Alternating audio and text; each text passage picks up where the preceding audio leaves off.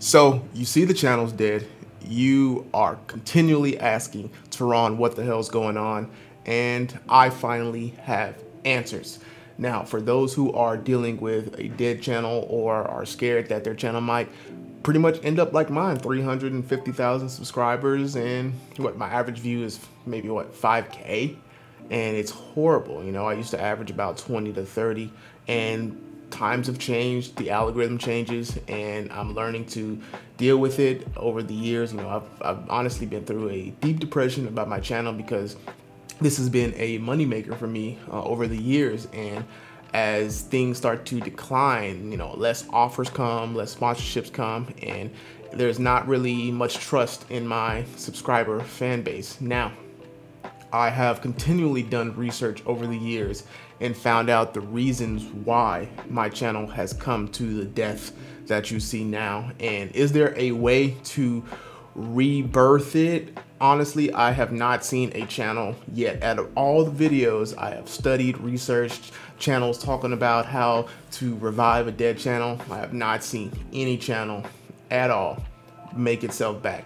There's one guy that um I've watched for a while, my boy Travi. He has made like three, four different channels, and it's just you know he just kind of gave it to me straight up. You know, it just it just be like that sometimes. And the reason why, the reason why that happens is because mainly especially for me your niche you make videos out of your niche especially it's bad if you make videos out of your niche that go viral so let's say, you know, this channel was based off of my fitness stuff with Goku Flex, uh, you know, collab stuff. And let's say the Comic-Con videos that I do.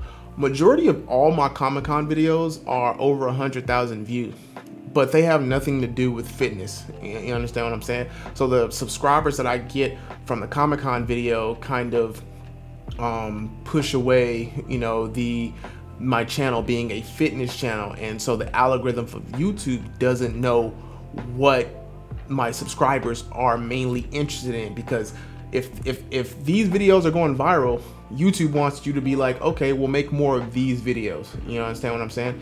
And then in, not only that you know i have viral videos with with comic-con with Larry Wheels, um, some videos with myself you know with females and um, you know maybe some challenges some fitness challenges and stuff. But the the niche is just bouncing everywhere you know especially with vlog stuff as well.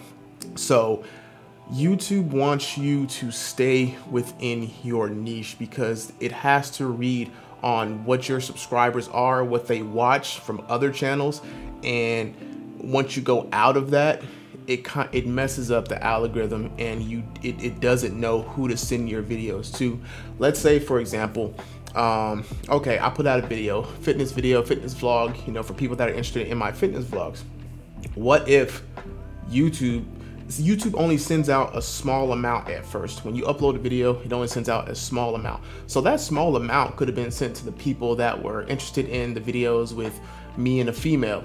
You know, those videos do do good. Or with um, my Comic Con people, those videos do good.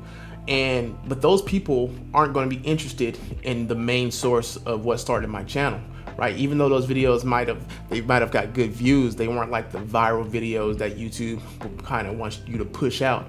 And that's what kind of messes it up because the click rate on those videos are very low. So YouTube just says, hey, your audience isn't interested in this video, so we're not going to push it out even more. And that's pretty much what happens.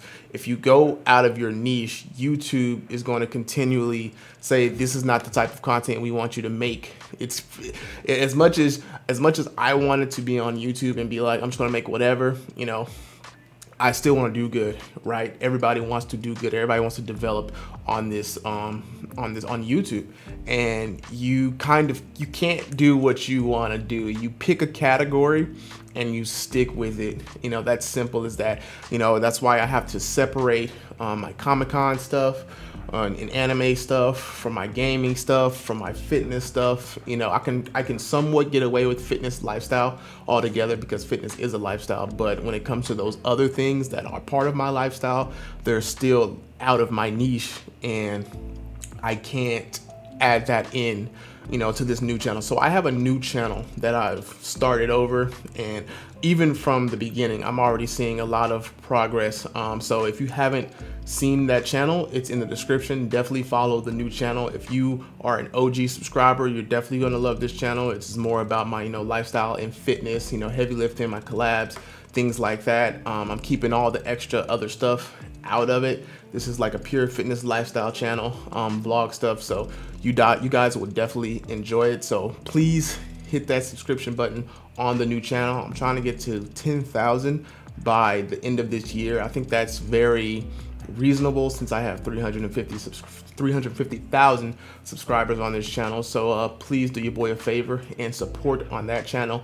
Now with this channel, I'll be experimenting to see what does work because I feel like over the past few months, years, I've been everywhere.